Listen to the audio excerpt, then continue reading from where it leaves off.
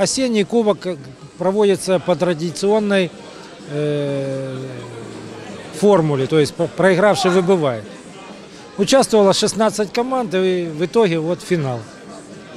В полуфинале портовик обыграл 3-0 «Титан», серебряного призера чемпионата города, а команда «Лидер» обыграла команду ITV ПГТУ 4-2.